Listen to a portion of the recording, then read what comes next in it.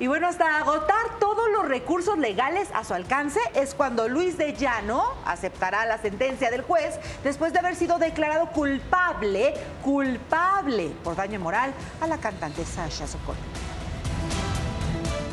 anticipando que agotará todos los recursos legales a los que tiene acceso para llegar a lo que considera justo en su caso, acusado por daño moral a Sasha Sokol, es la respuesta que Luis de Llano publicó a través de un comunicado de prensa en respuesta a la información emitida por la cantante, quien confirmó que la apelación del productor a la sentencia del juez dada en primera instancia fue rechazada.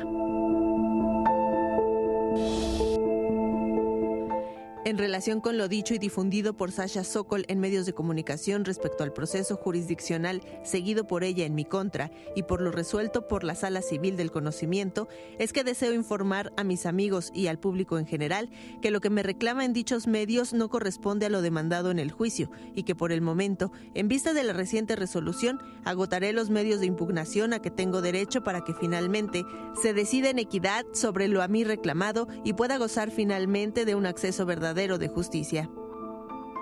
A pesar de que existe en el juicio seguido en mi contra sentencia de primera y segunda instancia, no constituyen cosa juzgada y por tanto nada en lo que en ella se refiere o contiene puede ser considerado verdad jurídica y son, por tanto, susceptibles de ser modificadas en todas sus partes, como finalmente la justicia resolverá en el juicio de amparo correspondiente. Ello atento a las múltiples violaciones, irregularidades e ilegalidades presentadas durante el proceso y sobre las cuales me he abstenido de hacer comentario alguno. Lo anterior por los intereses oscuros y perversos que actúan en mi contra, que resultan evidentes por ante los calificativos de conductas reprobables y referidas en los medios de comunicación, pero que de ninguna manera ni los he cometido, pues tampoco han sido demandados o reclamados en el proceso legal que enfrento. Dejando saber que está en marcha un juicio de amparo a su favor. Por el momento sigue vigente el veredicto del juez que obliga a Luis de Llano, entre otras cosas, a realizar una disculpa pública, a abstenerse de volver a hablar de lo sucedido y a pagar una indemnización, dinero que Sasha donará a una institución en beneficio de mujeres maltratadas.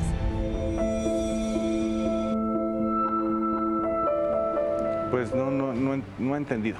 no he entendido que... acepta esto. o sea, el delito por el cual supuestamente, bueno, el delito de, de abuso infantil o estupro, este, ya estaba, había prescrito. Entonces Sasha acusa a Luis de daño moral. Ese daño moral ya perdió la primera instancia, Luis. Ya perdió la segunda instancia. Ahora va al amparo Luis. Entonces dice que hasta que no agote todos los recursos, es decir, eh, el juicio de amparo, que es el tercer y último recurso, este, y luego revisión de, del amparo, puede ser uno más. Pero yo creo que va a perder. Él está en su total derecho, pero al parecer eh, también no ha entendido que yo no sé antes, pero sí lo sé ahora, que una persona de 40 años ande con alguien que es menor de edad, pues él dice que hay intereses ocultos y oscuros, pues yo vería como algo oscuro que una relación de un mayor de edad, de 40 años, con una persona que ni siquiera alcanza la mayoría de edad.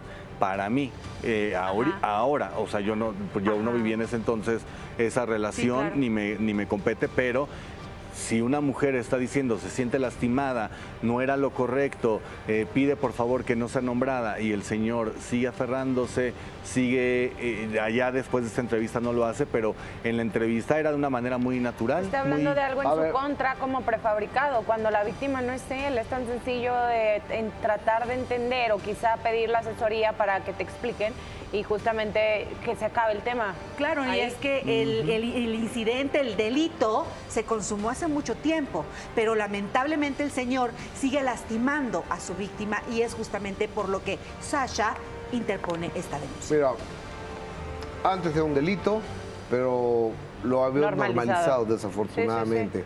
Porque ahora no van a decir que van a salir con... Ay, no sabía.